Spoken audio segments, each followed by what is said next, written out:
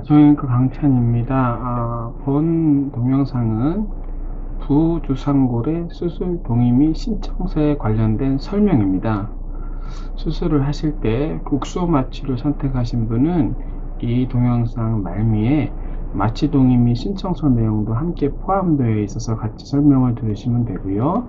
만약에 허리 마취나 전신 마취로 하에 수술을 선택하신 분들께서는 마취과 선생님께 별도의 마취 동의서를 받으셔야 됩니다.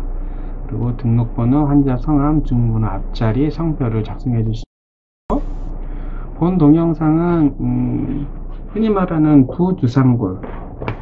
이분이 발인데요. 오른 발인데요. 이렇게 안쪽 복숭뼈가 이렇게 있습니다. 그 안쪽 복숭뼈의 하방의 앞에 전방쪽에 여기가 뼈가 튀어나온 분도 있고 안 튀어나온 분도 있는데 여기가 계속 아프신 분들이 있어요 그래서 그냥 단발적으로 하루 이틀 아프고 뭐 한 달 아프고 그래서는 수술을 하지는 않고요 여기가 운동할 때마다 아니면 여행할 때마다 어, 아니면 등산할 때마다 이제 아프신 분들 그것 때문에 좀 오랜 시간 장기간 괴로워하신 분들은 수술적 치료를 받으시는 경우가 있습니다. 어, 부추상골은 우리나라 전체 인구를 따져도 한 15% 정도에서는 있어요. 그래서 평생 있는지도 모르고 사시는 분들도 있어요. 왜? 대부분은 안 아파요. 근데 이제 평발이 동반되던 동반되는 경우에는 좀 더 빈번하지만 어쨌든 어, 종종 운동을 좋아하시는 분들이나 아니면 꽉 끼는 신분, 군화 같은 거 신는 분들이 조금 더 그렇기도 하지만 그런 분들한테 자주 증상을 어, 호소하는 분들이 있고요. 또 이제 한참 성장기 때 어, 초등학교, 중학교에서 이제 고등학교 올라갈 때 이때쯤 증상을 많이 호소하는 분들도 있습니다. 말씀드렸던 것처럼 단발적인 증상은 치료의 대상, 수술의 대상은 아닌데 어, 한번 발생하면 오랜 기간 아프거나 또 오랜 기간 1년, 2년, 3년 오랜 기간 통증이 있었던 분들은 수술을 하기도 합니다. 그래서 보시면 결국에는 이 뼈를 오른발이 이 뼈를 튀어나온 뼈를 깎아내는 건데요.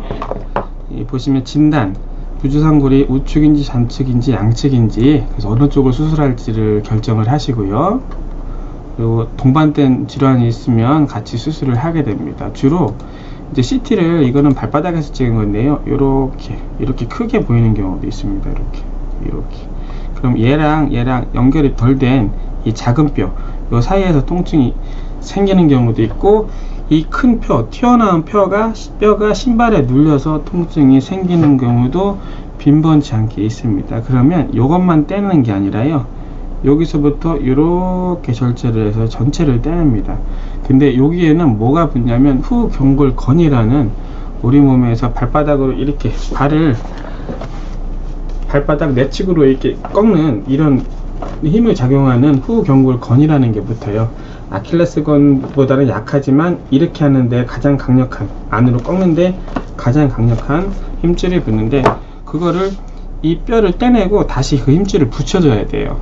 그렇기 때문에 힘줄을 다시 붙여줘야 되기 때문에 수술하고 나서 한 달 정도는 이쪽 발을 디디면 안 돼요. 그래서 수술하고 나서 한 달 정도는 반기부스가 됐든 통기부스가 됐든 가능하면 이런 자세로 약간 발이 안쪽으로 이렇게 발바닥 발이 약간 발바닥 쪽으로 그리고 발이 약, 약간 안쪽으로 해서 후 경골건이 막 당겨지지 않는 자세로 반기부스가 됐던 통기부스가 됐던 하는 경향이 있고요. 그 기간은 한 달 정도 생각하시면 되고 그래서 그 후 경골건을 이 뼈에다 부착시킨다고 그랬잖아요 다시. 그 부착시킨 게 잘 아물게 하기 위해서 같은 목적이죠. 어, 한달 동안은 어, 딛지 못하게 합니다 그래서 이렇게 큰 경우에는 이게 이제 이게 1cm, 2cm니까 엄청 큰 거죠. 엄지 손톱만 엄지 손톱보다 더 큰 그런 뼈를 떼내고 잘라내고 여기다가 이제 후경골건을 붙이는 거죠. 이 사진에서는 보이진 않지만 여기에서부터 이만큼 해서 쭉 해서 후경골건이 붙어 있는 겁니다. 그래서 이런 게 어, 부주상골이 왜 수술해야 되는 이유와 수술이 필요한 사람과 그리고 어떻게 수술하는가 어떤 수술하는가에 대한 간략한 설명이었고요. 그 다음에 수술하는 과정을 말씀드리겠습니다. 수술하는 과정은 일반적으로 진행되는 수술 과정을 설명드리는 것이고 수술실 내에서 환자 기계의 특성에 따라 조금씩 차이가 있을 수가 있다는 거 알고 계셔야 됩니다. 그래서 일반적으로 부주상골의 수술 과정은 피부 절개를 족관절 내과와 부주상골 주위로 곡선형 피부 절개를 합니다. 그래서 보시면 여기 내과 아래 여기에서 이렇게 피부 절개를 합니다. 이렇게 요만큼 한 5cm 내외로 피부 절개를 하고요. 근데 우리 몸의 모든 수술 부위, 피부 절개 부위는 수술 후에 절개 흉터와 그 주위에 감각 이상, 감각 저하가 어느 정도 남는다는 거 알고 계시고요. 보통 6개월에서 9개월 정도 지나면 우리 몸에서 적응을 합니다. 그런 다음에 이제 피부 아래 조직이랑 건막, 그리고 주상골, 아까 그 뼈죠. 그 부골, 그거를 예, 주상골 골막을 박리합니다. 그런 다음에 발바닥을 구부러 이렇게 하는 경, 그 힘, 힘줄이 후 경골건이라고 했잖아요. 이거, 이것이 부주상골 부착 부위에서 이 건을 박리를 합니다. 즉, 여기에, 여기에 힘줄이 부착되어 있다고 했잖아요. 여기서 힘줄을 떼고 얘를 뼈를 깎아서 제거하는 거죠.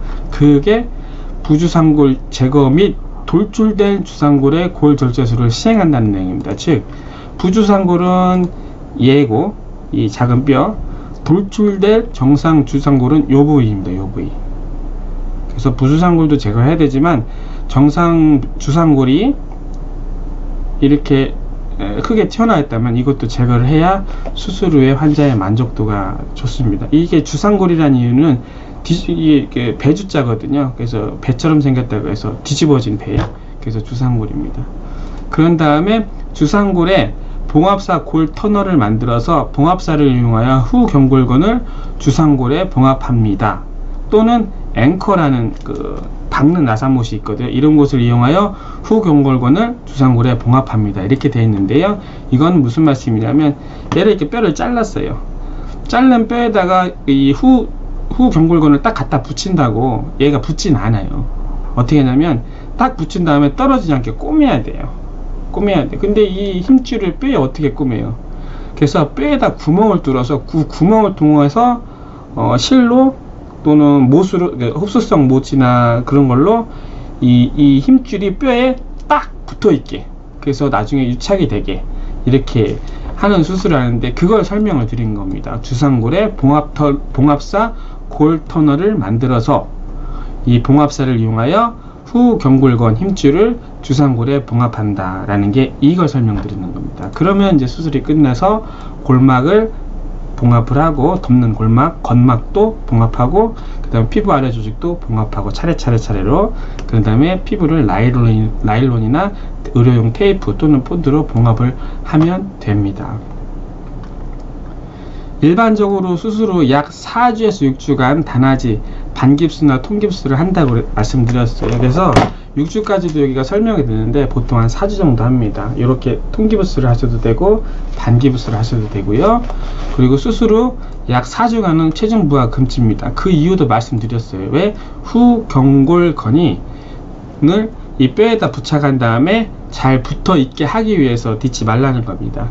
수술하고 나서 얼마 되지 않은데 막 딛고 떼다니고 그러면 애써 붙여놓은 후 경골건이 떨어져요. 그러면 이 발목을 구부리는 힘이 이렇게 안으로 안으로 이렇게 젖히는 힘이 떨어집니다. 그리고 통증이 잔존할 수가 있습니다.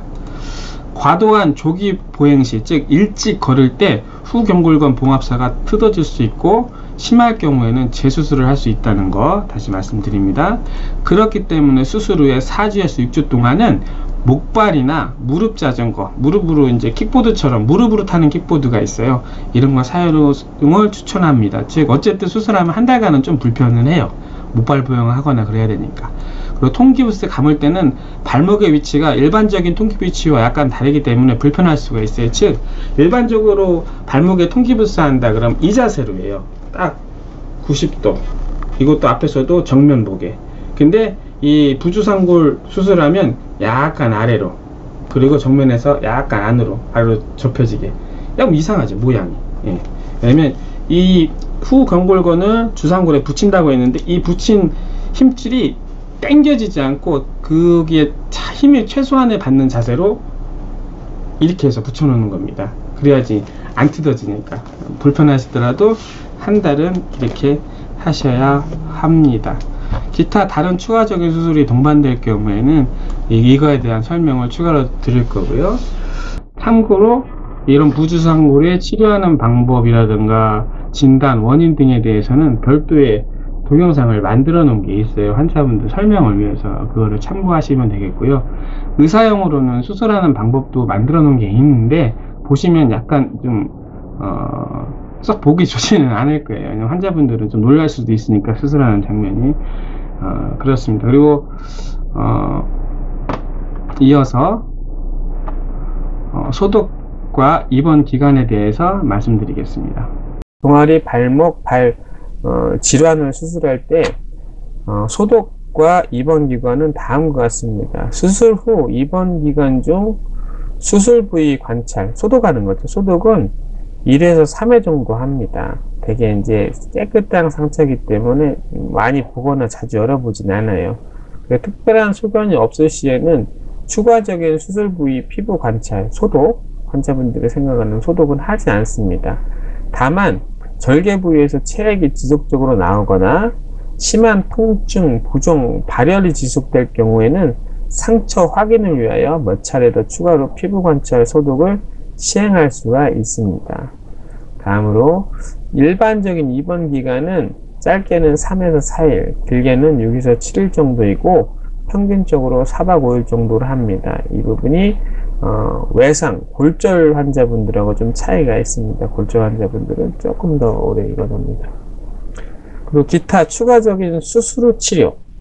왜냐면 수술 받으면 그 다음에는 어, 또 다른 수술 후 치료 방법이 있거든요. 우리가 이제 운동 치료, 회복 치료라고 하는데 이거는 의사한테 구두로 설명을 듣거나 또는 저 같은 경우는 교육용 동영상을 많이 만들어 놨어요. 그것을 이제 보시고 지시에 따라달라고 이제 부탁을 드리는데 그런 동영상 교육을 통해서 어, 설명을 자세히 들으셔야 됩니다. 다음은 발생 가능한 합병증 및 후유증입니다. 일반적으로 족부족관절 종아리 질환 수술 후에는 어, 발생하는 가능한 걸 설명드리는 건데요. 의료인의 과실이 아닌 절개에 의한 피부 세균 방어력 저하 또는 환자의 기저질환, 나이, 골다공증, 그리고 수술 후 치료 과정에 낮은 수능도, 특히 이제 선망이나 치매 인지장애 같은 거 있는 경우는 걷지 말라고 하는데 막 걸으시고 그러시는 경우가 있거든요. 그러면은 어떻든 이러한 여러 가지 환자 소인에 의해서 합병증과 후유증이 적게는 1, 2%에서 많게는 5에서 30%까지 발생할 가능성이 있어요. 이 부분은 이제 환, 의사가 뭘 잘못한 게 아니라 환자에 의한 원인인 겁니다. 특히 그 중에서 어, 수능도가 낮은 가지고 말씀을 잘 안 들으시는 거 빼놓고는 담배, 술, 당뇨, 고혈압 등이 원인으로 나타나는 합병증과 후유증이 제일 많습니다. 그리고 두 번째는 의사의 지시에 따라야 하는 수술 후 치료 과정, 운동치료, 물리치료, 회복치료, 그리고 보행에 약간 제한을 두는 그런 수술 후 치료 과정을 환자분께서 지키지 않은 경우가 그 다음으로 많아요.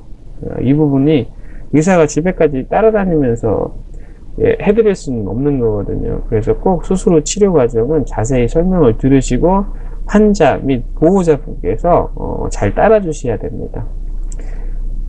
환자분들께서는 이 부분을 충분히 숙지하신 후에 수술 신청을 신중하게 해주셔야 합니다. 왜냐하면 수술 후 치료 과정 중에서 불편한 부분들이 반드시 생기거든요.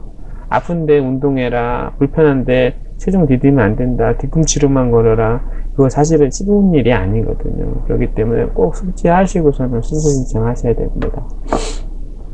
자, 쭉 설명드리겠습니다. 이제 피부를 절개하는 모든 수술에는 아래와 같은 후유증이 남을 수가 있어요. 뭐냐면 수술 부위 연부 조직 감염, 예, 진물 막 나가고 감염되는 경우가 있어요. 대부분은 경증이기 때문에 깨끗한 수술은 대부분은 경증입니다. 감염 수술이 아니면 그래서 소독 및 항생제의 투가 추가 투약이 필요할 수 있고 그래도 조절이 안 되면 매우 드물지만 세척술하고 재봉합술을 할 수도 있습니다. 그리고 연부조직 유착 유착이라는 거는 이 피부가 안에 있는 조직하고 이제 엉겨 붙는 거예요. 그래서 저도 보면 여기 피부가 한 20년 전에 찢어져서 꼬맸었는데 얘가 엉겨 붙어 가지고 안 밀리죠 이렇게 여기는 자주 이렇게 밀리는데 얘는 여기서 딱 걸려서 안 밀립니다. 이거 유착이라고 하는데 이런 유착에 의하여 부분적인 관절, 힘줄의 운동 범위 제한 및 잔여 통증이 있을 수 있어요. 저 같은 경우에도 여기가 약간 남해살이에요. 이만큼이. 이는 남해살. 신경 손상, 피부 절개 주의 및 원위부는 감각 이상과 감각 저하가 반드시 발생합니다. 근데 피부를 째지 않고는 수술을 할 수는 없잖아요. 다만 이제 한 4개월, 6개월, 9개월, 1년 지나면 그게 이제 둔해집니다. 저도 여기도 감각이 저하가 되어 있는데 일상적인 생활하면 전혀 인지를 못해요. 이미 적응을 했기 때문에 그 부분을 알고 계셔야 됩니다. 그리고 2020년 3월 이, 이 동영상을 만드는 이걸 기준으로 해서 지난 10년 동안 저는 족부족관절하고 종아리 수술을 하면서 질환을 수술하면서 아래 합병증, 아래 설명드린 합병증이 발생한 적은 없지만 언제든지 발생은 가능한 합병증들이 있어요. 즉 모든 수술에서 발생할 수도 있는 합병증 및 후유증입니다. 그런데 설명을 드려야 돼요. 왜냐면 가능성이 있기 때문에. 근데 이걸 설명을 안 들으면 안 드리면 나중에 마치 의사가 잘못한 것처럼 그렇게 사회적으로 인식이 되는 경우가 있어요. 의사가 잘못이 아닌데. 그래서 설명을 드리는 게 뭐냐면, 어, 지방 색전, 색전증. 이건 뭐냐면, 골절이 있거나 뼈를 부러뜨리는 수술, 어, 그 부위에서 뼈 안에 있던 그 지방이나 아니면 어떤 다른 지방이 주요 혈관, 폐나 뇌나 심장 등을 막을 수가 있어요. 그러면 되게 위험하겠죠. 근데 예측 불허입니다. 근데 대부분 큰 뼈, 장관골, 대퇴골, 허벅지 뼈죠, 경골, 종아리 뼈죠. 요런 데 비골은 거의 없고 이런 데에 이제 골수광내 고정술이라는 하는 수술에서 대부분이 나타나는데 남녀노소를 막론하고 예측 불허예요. 그래서 이 부분은 의사가 예측을 할 수 있는 게 아니고 발생하면 그거에 대한 응급처치를 하는 부분입니다. 그래서 의사의 과실로 발생하는 게 아니고요. 어, 근데 어쨌든 발 종아리 수술에서 발생한 적은 없습니다. 신부정맥 혈증, 아이고, 이게 되냐? 잠시만요. 네, 됐습니다. 신부정맥 혈증증, 이거는 주로 하지, 종아리에 혈전, 그러니까 피혈관에 정맥이라든가 혈관에 피떡이 생기는 거예요. 이 피떡이 이제 동맥에, 정맥에 있다가 이제 떨어져 나가는 경우, 이게 떨어져 나가면 심장으로 가거든요. 그러면 폐, 뇌, 심장 등을 막을 수가 있어요. 이것도 생명이 위험하거나 예측 불허입니다. 근데 이 부분도 환자가 소인에 의해서 삐떡이 있는 분들이 있거든요. 그리고 또 한참 안 움직이는 분들은 삐떡이 잘 생겨요. 이, 이런 분들이 이제 운동 돌아다니시다가 삐떡이 혈관에 있던 게 떨어져 나가면 생기는 건데 이것도 완전히 예방이 불가능한 거예요. 예측도 불가능하고. 그래서 요즘에는 압박 스타킹도 하고 혈전 용해제 같은 것도 수술하면 쓰기도 합니다. 그래서 예방 차원에서 하지만 100% 예방을 할 수 있는 건 아니다라는 거 알고 계시고요. 마찬가지로 발가락, 발목, 종아리 수술에서 발생하는 일은 거의 없습니다. 과다 혈종 이건 뭐냐면 어, 피 안 나게 수술을 하지만 어, 수술이 끝나고 나서 지혈 때, 압박 때, 피나지 말라고 허벅지가 쪼이는 게 있거든요. 그걸 풀고 나면 피는 나요. 암만 압박으로 소독을 칭칭칭 감았다고 하더라도. 그럼 수술 부위에 피가 고이는 걸 혈종이라고 합니다. 환자의 출혈 소인, 즉 아스피린이라든가, 그러니까 심근경색, 뇌경색 뭐 이런 걸로 해서 아스피린 계속 드시거나 아니면 혈전 같은 계속 드시는 분들이 있어요.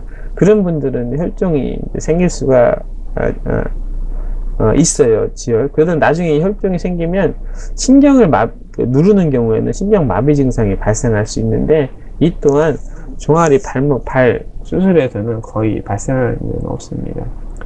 수술 중 쇼크 등에 의한 심정지 및 뇌 손상 이거는 이제 기저질환이 있거나 아니면 출혈이 많거나 어, 그런 경우 혈압이 갑자기 떨어지거나 감염이 심하거나 그런 경우에는 발생하기는 하는데 이제 일반 질환, 일반 질환은 발 수술, 발목 수술하면서 발생하는 일은 거의 없는데 어쨌든 설명을 드리면 조절이 안 되는 기저질환이 있는 고령의 환자에서 드물게 발생을 하고요.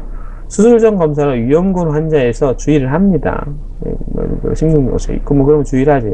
근데 하나 100% 예방할 수는 없습니다. 예측 불허이기 때문에 이 부분도 알고 계시고 수술 후에 치매랑 비슷한 증상이 발생하는 경우가 있어요. 선, 치매는 아니고 선망이라고 하는데 가족을 잘 못 알아보면 막 헛소리 하십니다. 그러면 이상한 말씀 막 하시고 특히 이제 전신 마취하에 큰 수술, 고관절, 허리, 뭐, 그리고 큰 수술 하시는 고령의 환자에서 발생을 하고, 발이나 발목 환자에서는 발생하는 일은 극히 드뭅니다. 어쨌든 드물게 족부, 족관절, 종아리 하체 수술에도 발생하긴 하는데, 주로 단기 증상이기 때문에 이제 회복을 하십니다. 다만 100%는 아니라는 거죠. 항상 여지는 남겨놓습니다.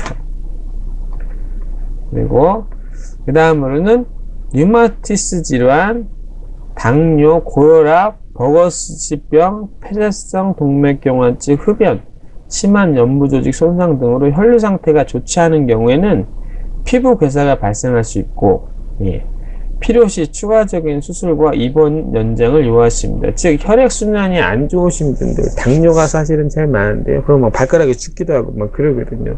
어떤 이런 분들에서는 피부가 죽으면 어, 피부 처음에는 이제 상처를 잘 치료하다가 그래도 혈관 때문에 혈류가 안 좋아서 피부가 개선하는 경우는 혈류를 개선을 하고 그래도 호전이 없으면 피부 이식 같은 거를 할 수도 있습니다. 수술 부위 감염, 골수염 이런 것들은 뭐냐면 건강한 사람들한테서는 생기지는 잘 않아요. 근데 당뇨, 고혈압, 흡연, 음주류하고 폐쇄성 동맥교화증이 원인 또는 수술 부위와 관계없이 어, 발을 수술했는데 폐에 일단 염증이 있거나 다른 염증이 있는 경우 이런 경우에는 아, 아, 또 하나 이제 면역력 저하가 있는 경우 스테로이드를 막 먹거나 그런 경우 이런 경우에는 그쪽에 관련된 것들이 나 스스로의 환자의 그 면역력을 떨어뜨리고 감염력을 높여서 어, 수술 부에 감염이 발생할 수도 있습니다. 이런 것도 어, 환자의 어떤 의사의 또 과실이나 그런 부분이 아니라는 거 알고 계셔야 됩니다.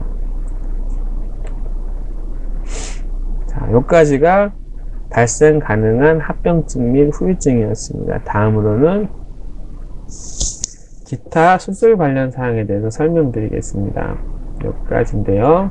자, 기타 수술 관련된 다섯 번째 관련된 사항은 수술실의 의사, 간호사 외에 교육생, 그러니까 의대생, 간호학과 학생, 간호조무 실습생 등이 어, 어, 수술실에 들어오거나 교육 목적으로 방문한 외부 의료기관의 의사 허락을 받은 그리고 기타 보건의료인 허락을 받은 이런 분들 수술실에는 출입할 수가 있습니다.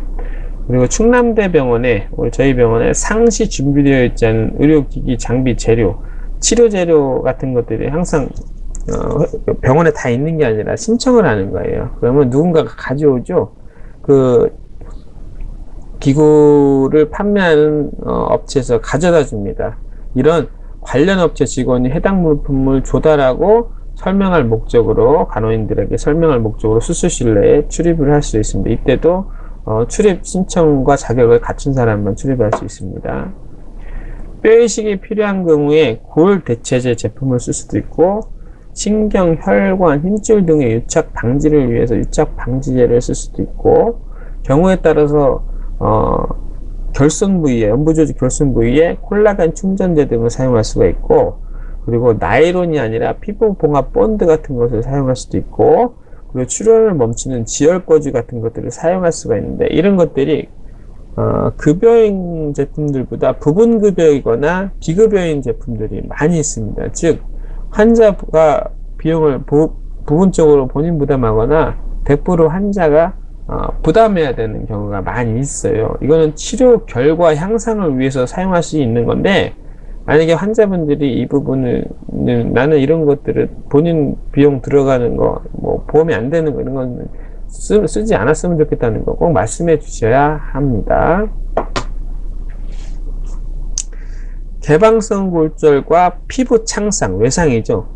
그 이외의 수술 부위 감염, 회복에 큰 영향을 미치는 것이 앞서 말씀드렸던 것처럼 혈액순환입니다.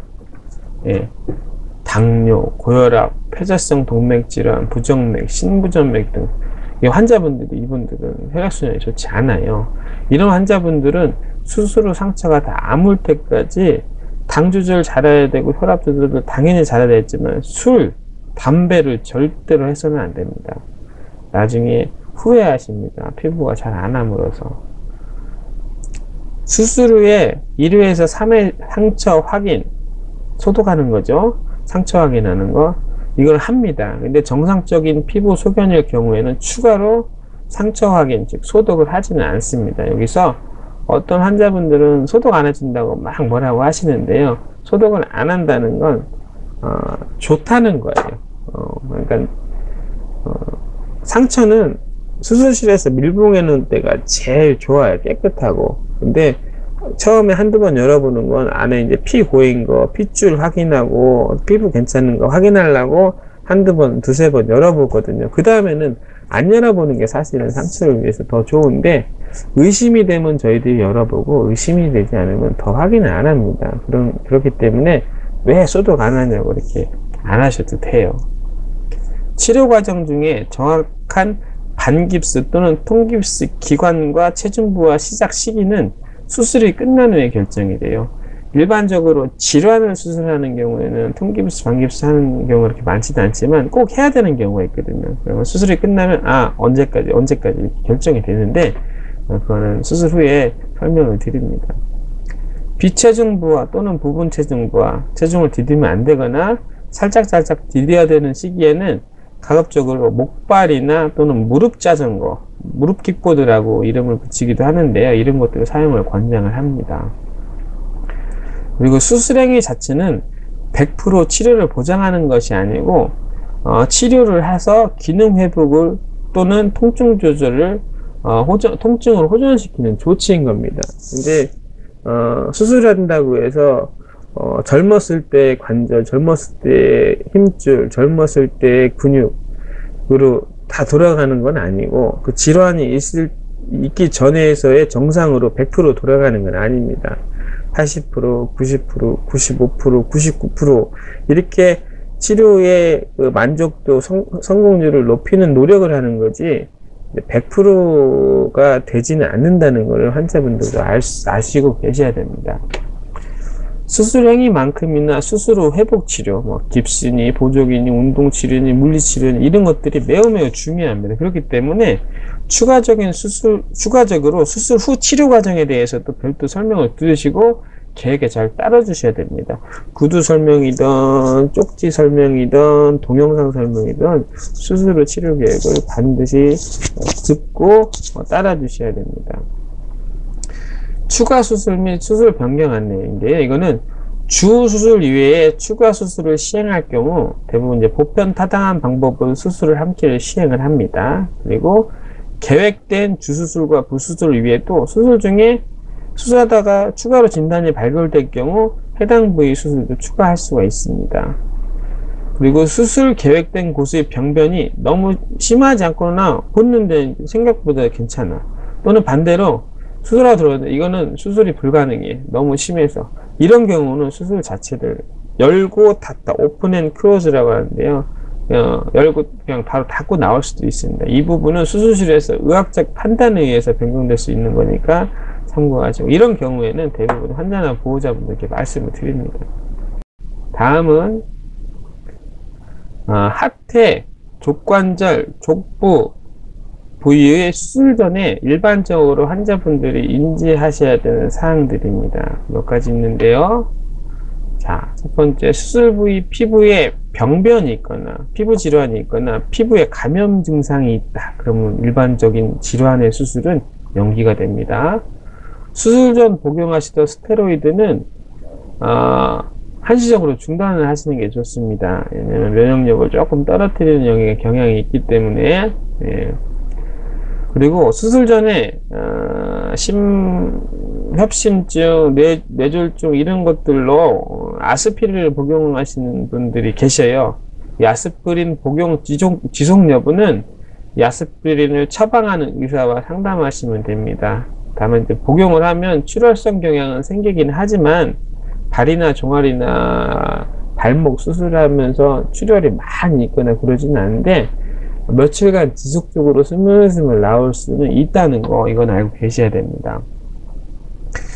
후 부종이 빨리 빠지, 빠지게 압박 스타킹이나 약물이나 아니면 얼음 찜질 등 처치를 병행을 할 수가 있습니다. 그리고 다섯 번째로 어, 꼭 수술 후 체중 부하 관절 운동 범위, 시작 시간 그리고 시작 어, 시작 시기 이런 것들은 의사의 지시에 따라 주셔야 됩니다. 이거 안 따라 주시면 수술하고 나서 낭패를 보시는 수가 있습니다. 원상 복귀가 되거나 결과가 더 나빠지는 경우가 있어요. 자세한 수술 후 치료 과정은 별도로 어, 구두로 설명을 드리거나 어, 의사에 따라서 종이 쪽지로 설명을 드리는 경우도 있고요. 어, 저처럼 교육용 영상을 통해서 설명을 드리는 경우가 있는데 어쨌든 이런 추가 설명을 꼭 들으셔야 됩니다. 그리고 앞에서 설명드린 수술 과정은 일반적인 수술 과정인데요. 말씀드렸던 것처럼 수술실 내에서 개개인 특성에 따라서 수술실 내 상황에 따라서 조금씩 수술 방법과 순서가 바뀔 수 있다는 거 그리고 수술이 추가되거나 또는 취소될 수도 있다는 거 알고 계셔야 되고요. 아래 여러 요인이 수술을 하는 시간 그리고 수술의 난이도에 영향을 미칩니다. 그래서 아래의 경우 수술 대기 시간 그리고 실제 수술이 길어지는 어, 경향이 있습니다. 그게 뭐냐면 당뇨, 고혈압, 흡연력, 음주력 등의 유무와 기간, 혈액순환 장애와 골다공증의 유무, 그리고 기타 약물 복용 현황과 피부 질환 상태 등등에 따라서 어, 수술 대기 시간이 좀 길어질 수가 있고 자꾸 연기될 수도 있고 그리고 실제로 이제 수술실 내에서의 수술 시간이 어, 조금씩 어, 얼마나 오래 빨리 하는지 늦게 하는지가 어, 결정될 영향을 받을 수가 있습니다. 여기까지가 이제 하태 족부 족관절 부위 수술 전 일반적인 환자분의 인지하셔야 될 사항입니다. 이어서 1번, 8번, 9번 마취에 관한 설명 마취의 주의사항 및 후유증 합병증 그런 다음에 수술과 마취의 어, 동의 및 어, 신청서에 대한 어, 설명을 드리도록 하겠습니다. 설명은 이전에 이미 동영상으로 만들어 놓은 게 있어서 그 동영상으로 대체하도록 하겠습니다. 다음은 정형외과 신경차단 마취 설명입니다. 정형외과 신경차단 마취는 자세하게 설명해 놓은 다른 마취 동의 및 설명서가 아니 마취 동의 및 신청서가 있습니다. 그걸 보셔도 되고 여기서 추가로 간단하게 설명드리기도 어, 드리기도 하겠습니다. 어, 정형외과 신경차단 마취는 수술을 위한 마취 방법으로 전신 마취나 척추 마취, 정형외과 의사에 의한 환측 신경 차단 마취 방법 중에서 환측 신경 차단 마취의 수술을 시행할 예정이기에 이에 대한 설명을 드리는 겁니다. 라고 시작을 하죠. 즉, 환자분께서 전신 마취나 척추 마취를 선택하셨을 경우에는 어, 별도의 어, 마취과 선생님께 전신 마취 또는 척추 마취 동의서를 받으셔야 됩니다. 자, 본 정형외과 신경차단 마취를 통해서 마취를 받, 마취를 하고 수술하실 분들은 쭉 설명을 들으시면 됩니다. 첫 번째, 환측하지만 신경차단 마취를 위하여 긴 바늘, 보통 엉덩이 어, 어, 긴 바늘인데 두께는 엉덩이 주사 맞는 것보다 좀 가늘거나 그 정도의 두께입니다. 어, 그 정도 두께 가는 바늘로 두 군데에서 네 군데 정도의 어, 어 주사를 놓습니다. 그때 엉덩이 근육 주사 맞는 것처럼 따끔함을 느낍니다. 국소 두 번째 국소신경 차단에 소요되는 시간은 평균 4분 정도이고요. 그리고 기, 여러 개를 신경 차단을 하면 한 10분 정도까지 걸립니다. 그리고 국소신경 차단수로 통증을 느끼지 않을 때까지 소요되는 시간은 50분 내외 입니다. 이게 무슨 말씀이냐면 완전하게 주사 맞고 어, 신경 차단 주사 맞고 완전히 마취가 되는 데까지 한 50분 정도 걸린다고 생각을 하시면 됩니다. 아래 그림을 잠깐만 설명을 드리겠습니다. 여기 보시면 여기는 대퇴신경, 여기는 좌골신경, 신경 차단하는 건데 어, 하퇴 종아리죠. 종아리, 발목, 발 수술한 할 경우에는 이 두 곳에다 가느다란 바늘로 초음파를 보면서 어, 마취제를 주사를 합니다. 그러면 이 다리가 마취가 되죠. 그러나 수술의 종류에 따라서 한두 가지 더 한두 세 가지 신경을 추가로 어, 신경 차단술을 할 수도 있다는 거 알고 계셔야 됩니다. 위치는 여기와 여기입니다. 그리고 이 옆에 그림 보시면 마취 1시간 전 수술, 수술 마취 1시간 전 수술 받으시는 쪽에 국소 마취 크림 도포 부위 이렇게 해서 빨간색 박스가 있는데요.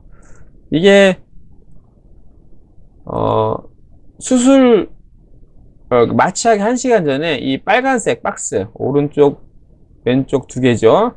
이 서해부랑 이 허벅지 외측 약간 뒤쪽 여기에다 이만큼 크기로 우리 간호사분들 의사 선생님들 도움을 받아서 어, 국소 마취 도포제를 발라 놓습니다. 그러면 어, 실제로 이렇게 어, 마취를 할 때, 음, 이 대퇴신경, 좌골신경 마취를 할 때 피부 따끔한 증상이 조금 덜 합니다. 여기 오시면 올라가셔. 예. 세 번째 하겠습니다. 수술 중 지혈대에 의한 통증이 약 수술 시작하고 30분에서 90분 경과 후에 발생할 수가 있는데 이거는 지혈대 해제 후에 사라집니다. 이게 무슨 말씀이냐면 어, 수술할 때 피나지 말라고 허벅지에다가 혈압 재는 걸로 웅 해서 강하게 조여놔요. 근데 이게 한 30분, 90분 지나면 허벅지나 종아리나 이제 되게 뻐근하니 아픈 통증이 생깁니다. 그때는 말씀을 하셔야 돼요. 그러면 지혈대를 쭉 혈압 재는 걸로 쭉 풀면 통증이 사라집니다. 그리고 마취 후 진통 효과는 평균 11시간, 길게는 뭐 19시간, 24시간도 가는 경우도 있는데 이런 마취 진통 효과가 오래 지속되기 때문에 마취가 완전히 풀릴 때까지는 수술 후 통증을 느끼지 못하는 장점이 있습니다. 그래서 이거는 알고 계시면 장점이고 모르고 계시면 마취가 안 풀린다고 막 고민하고 걱정하고 그러십니다. 그래서 마취하고의 진통의 차이는 뭐냐면 마취는 어, 암만 강한 자극을 해도 통증을 못 느끼는 게 마취고요.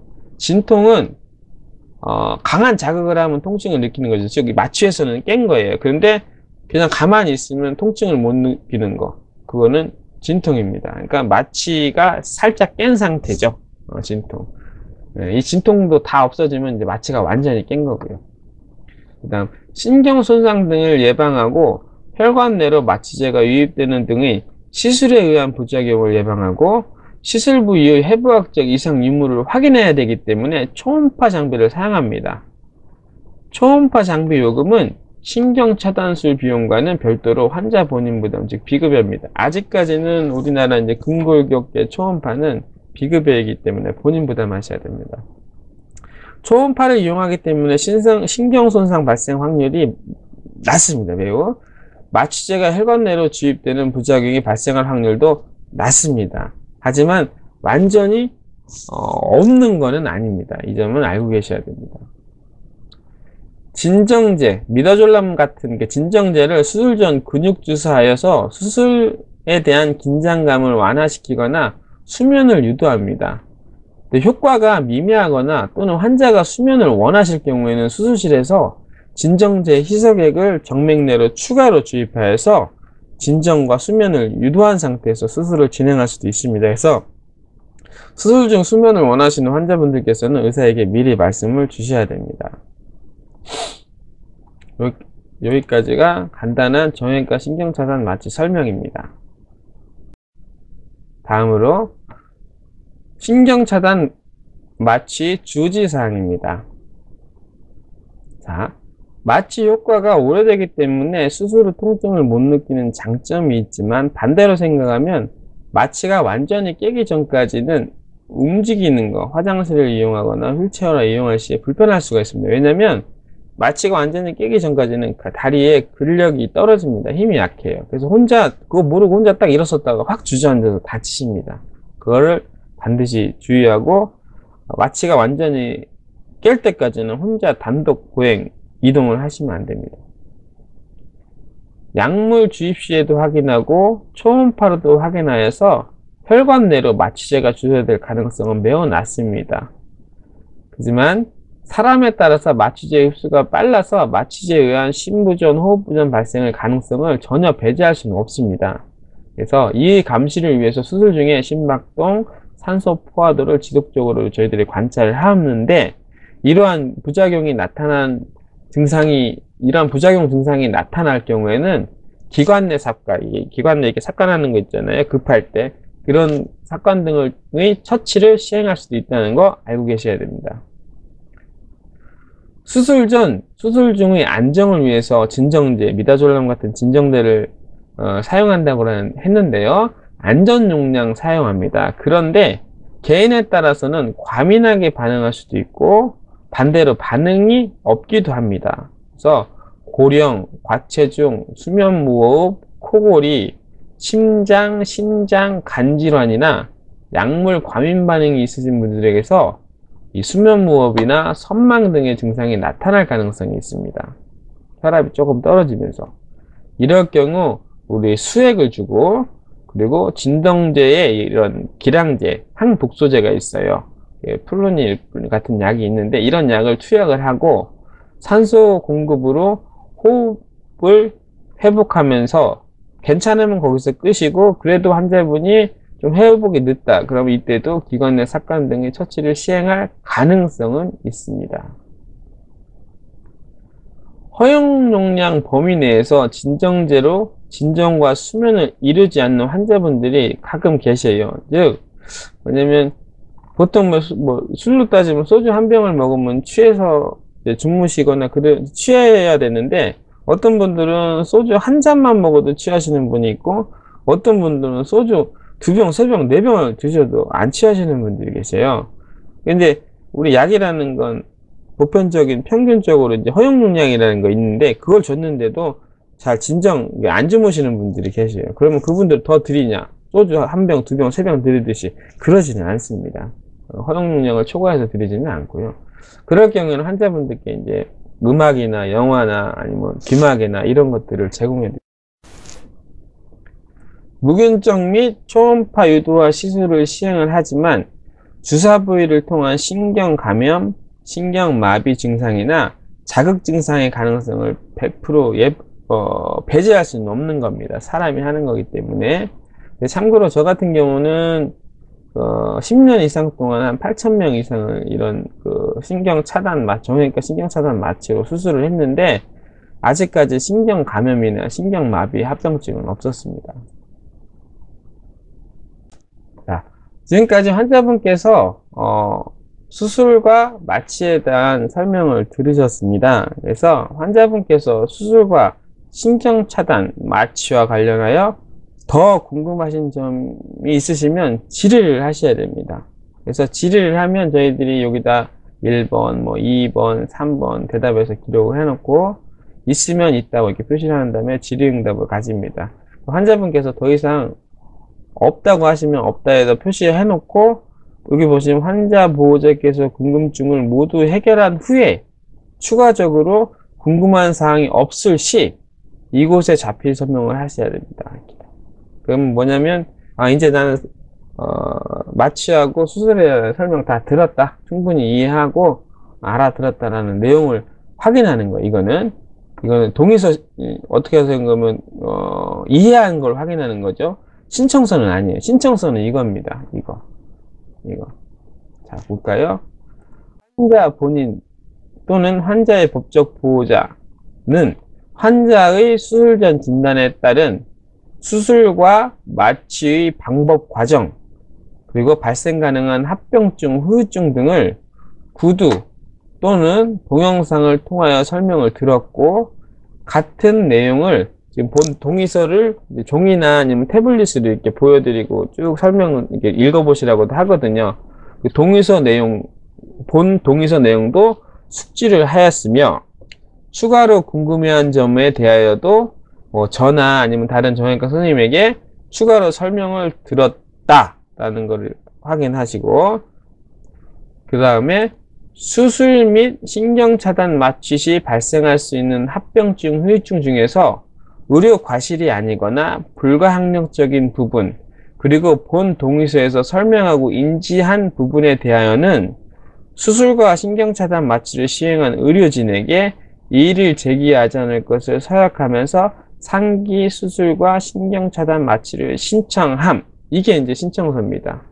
여기서 앞에서도 설명을 드렸지만 의료 과실이 아니거나 불가항력적인 부분이라는 게 있어요. 예를 들어서 수술하려고 피부를 쬐으면 흉터가 생기고 그 주에는 감각 저하나 이상감이 생기는데 그거는 이제 수술에 대한 후유증이죠. 이건 수술에서 생긴 결과입니다. 그런데 그건 의사의 과실이 아닙니다. 근데 가끔 어떤 분들은 이거 의사가 잘못해서 그런 거라고 하면서 이제 막 뭐라 하시는 분들이 계셔요. 이런 것은 의료 과실이 아닌 그런 거나 마찬가지로 불가항력적이라는 건 뭐냐면 어 예를 들어서 이제 암 3기, 4기 환자분들이 계시다고 하면 그분들이 치료를 위해서 수술을 하셨어요.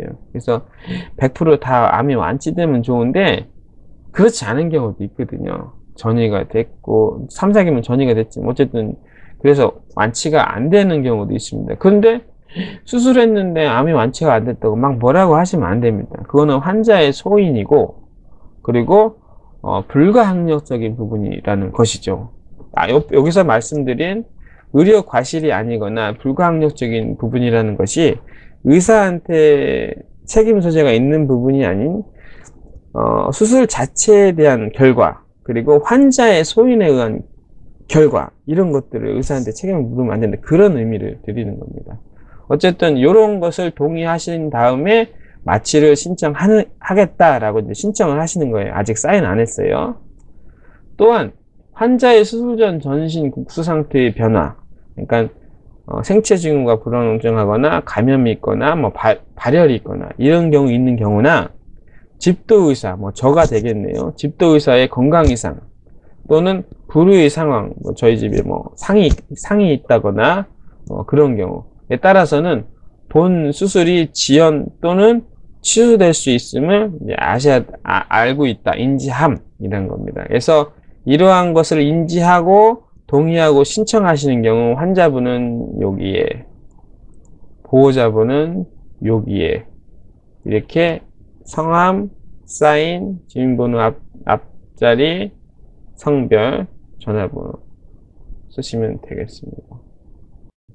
긴 시간 어, 수술에 대한 설명과 마취에 대한 설명 그리고 그에 따른 발생 가능한 합병증과 후유증에 대한 설명 그리고 그 후에 환자분 보호자분께서 어, 수술과 마취에 동의하고 어, 신청을 하겠다 그런 내용에 대한 설명입니다. 여기까지 잘 어, 보셨으면 환자분께서 보호자분께서 고민을 하시고 수술을 진행을 하실지 마취를 진행을 하실지 고민을 하시다가 나는 이런 것들을 다 감내하고 수술을 하겠다 하시면 말씀드린 이 안, 어, 신청서, 아니, 동의 및 신청서에 어, 서명을 해주시면 되겠습니다. 감사합니다.